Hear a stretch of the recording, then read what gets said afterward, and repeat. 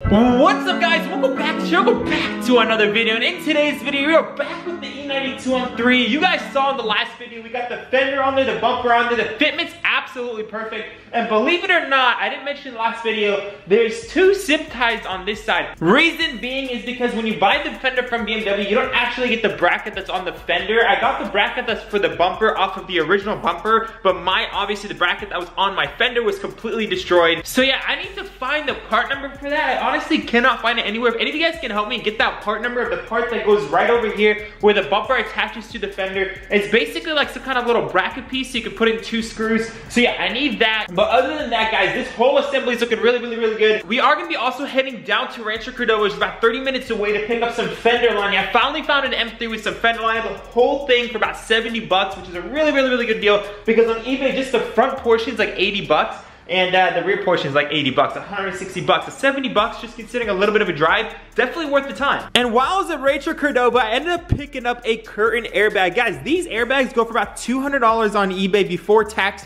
um, probably with shipping. So um, probably like 220 after tax. I got this for 107 in Rancho Cordova. Rancho Cordova's got a bunch of parts recycle places. You can get sometimes get a really good deal. For example, like this airbag. I got this off at 335. It's the exact same airbag that goes onto this. It's the E92 airbag, so it's the same exact thing, but I didn't have to pay the M tax on that. And this beautiful baby right here, I don't know if you guys can see the, the emblem and everything, but it looks so, so, so good. And this one's in really mint shape. I don't know if you guys can see over here, but I actually have an airbag right here with the steering wheel, but this airbag is missing the uh, emblem over here. So I really wanted something that had the original emblem and a really, really, really clean horn because that interior, I don't know if you guys can see it in person, but this interior is in really good shape. Like the leather is smoother than my F80 leather. Like this leather is really, really, really nice. And again, I just want everything to look super mint in this car. So I ended up picking this up from eBay just because, you know, we're on the road to perfection and I really want this thing to be perfect. So yeah. So first things first, um, let's go ahead and replace that airbag because that's quick and easy. It'll, it'll just give us more space. That airbag is taking a lot of space on the driver's side. And then obviously we need to remove this and remove the headliner. Now the headliner, I'm probably gonna take it down to L&D Solutions. I tried finding like an M Sport or like an E92 anywhere with headliner. Um, all the E92s that I found with headliner, they happen to be the one without the sunroof. I have the sunroof, so mine's pretty much the same as like a 335 IS, the same as like a 335 M Sport, a 328 M Sport, or you know, an E92 M3 M Sport, but I cannot find that headliner absolutely anywhere. So I'm probably gonna take this headliner, get rebuilt to L&D Solutions. So let's go ahead and get that headliner off, get that airbag out, replace everything, and possibly clear the airbag light. I think that'd be super sick if we get that airbag light off the car.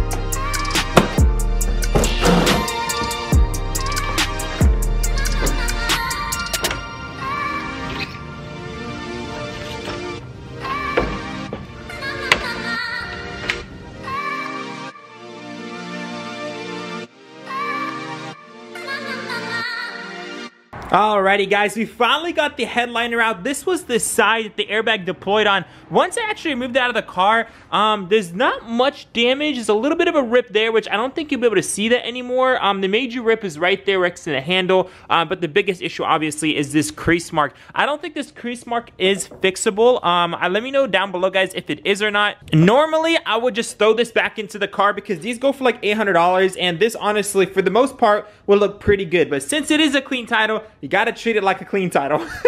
I say that a lot with this build in particular because again, if it's salvage, I mean, you're not gonna get your money's worth if you spend $800 on a headliner, so it's just not worth it. Um, but end of the day, honestly, I think I'm gonna run this until we actually go down to like SSR Performance. And SSR Performance, I don't know if you guys know who Straight Part 6 is, but they actually have headliners down there, and I'm thinking about driving this car down there with this headliner in the car. Once we get there, we'll toss this headliner and we'll throw in the new headliner or something. We'll figure out some kind of plan. But yeah, there's no one locally selling that headliner, so uh, we're just gonna have to rock it for now, but hopefully when we get down to LA, uh, Straight Part 6 has a couple of them. I don't want to pay the shipping because it's like $250. If we can just pick it up locally for cheap, that would be the way to go. But before putting any of this stuff in, of course, we have to remove the old airbag. Now, a small little neat trick for, uh, for actually, I just remembered, oh man, we have to get something to put this airbag in, so we're gonna have to head out in a little bit, um, but. Five hours later. So, uh, remember when I told you guys it's not gonna be messy, it's gonna be pretty easy? I was completely wrong. This is actually a pain in the butt still. So I'm using the biggest drill bit that I have. Um, but for some reason, I don't know what I'm doing differently. It's harder this time. I, I really don't know. And what I'm doing is that I'm drilling out the big circle of the rivet off and then I pretty much grind off the rest of the rivet using just the regular drill. So that's what I'm doing. Um, so, uh, yeah. Three days later. So, yeah, guys, all of this happened. Uh, this was absolutely a mission to get off. I thought I got the hang of it, guys. But uh, no, I did not. So at this point, I'm gonna go ahead and clean up all the dirt that's around here because it looks like an absolute mess. But um, yeah, I wish I could say it was pretty easy. This was a pain in the butt.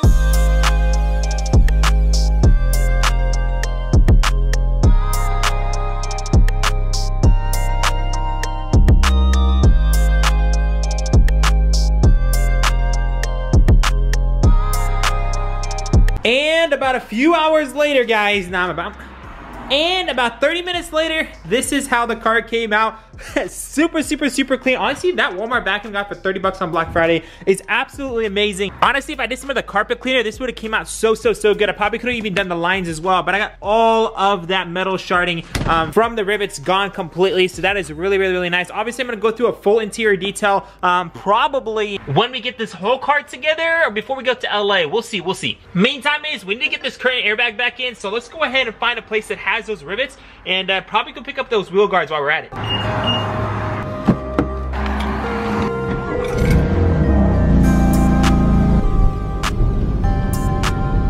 And guys, we just got back from AutoZone. So a lot of you guys in the last video said I don't actually have to use rivets when I was doing the 335 IS. I tried half of it rivets, half of it these clips. And honestly, these clips hold up really, really, really good. There's actually, like, it's almost impossible to remove these once they're in the car. They're kind of like rivets, but they're but they're plastic rivets and doesn't need any special tools to get that in there. But yeah, guys, let's go ahead and just throw on this new airbag so we can put the headliner back in and have a complete interior. And hopefully, hopefully, this airbag light will go away.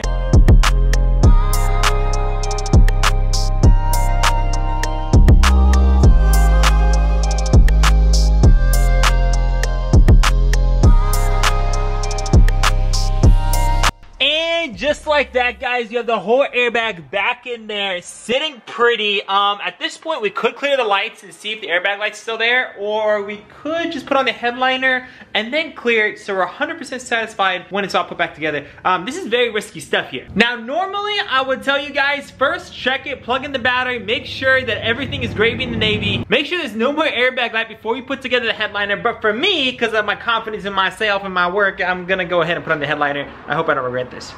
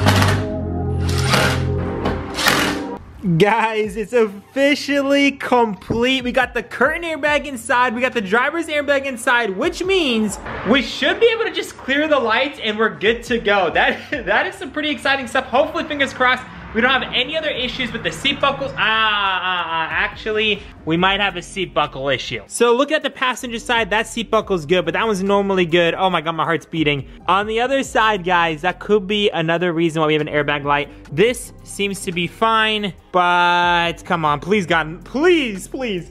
Yup. Oh, you guys can see that one's tucked in compared to the other side. This one's not as tucked in. That's because this one blew in the accident. That's unfortunate. I thought we are gonna be able to clear the airbag light. This seems to be good as well. So the seatbelts are good. Like the 335 IS, the current airbag uh, deployed. Um, this obviously deployed as well. That deployed. Uh, seat buckle deployed and the tensioner. In this car, which is the curtain, the tensioner, that airbag, and that. So we're good on the seatbelt at least. So, um, yes, we're gonna have to cop a seatbelt tensioner in the near future. Completely forgot about this. I always forget about this little guy.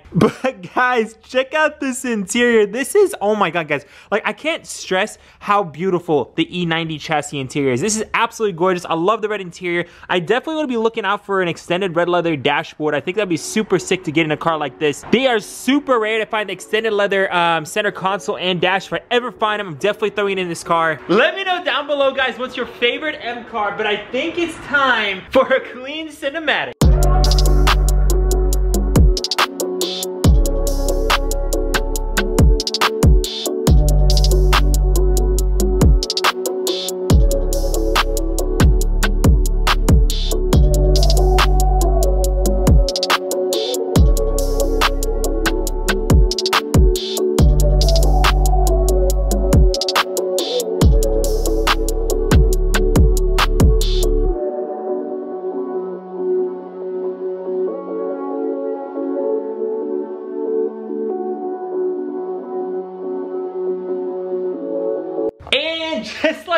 Guys, video is officially over. Hopefully in the next episode, we're gonna be getting some more of the suspension components in. I'm literally just waiting on that subframe. That subframe is absolutely ridiculous. I paid about $200 to ship this subframe, and on top of the fact that I already paid him $200 to ship it, he shipped it out four days late, and he shipped it through FedEx, which is the absolute worst carrier to ship anything through in my opinion right now because FedEx just has a lot of like employee shortages and they're just having huge delays. So yes, we are waiting on that subframe because we cannot assemble a single, single thing down there until we get that subframe in. But hopefully if we get it this Friday, we're gonna be able to fully assemble this section right here. As you guys can see, we got a brand new knuckle. That was our old knuckle. We got a used knuckle. The knuckles go for a lot of money brand new. I think like four or 500 bucks. You can get a used one, which is just as fine. It's not like you can wear and tear this thing. As long as there's no cracks or bends, which this one does not have, we are good. So this one I got for like 150 bucks. Um, we ended up getting a used sway bar end link because again, that doesn't matter. Sway bar end links or sway bar end links, they don't really uh, serve that big of a purpose. As long as it's functional, it is functional. This came off of an M3, so we are graving the Navy. But now the tie rod, boys, we got a brand new tie rod right here, and we got a brand new control arm right here. As you guys can see, OEM BMW, OEM BMW, and this one uh, is OE, but is another control arm brand new. So we got all these ones because we got bushings and stuff. That's important. We got all those brand new.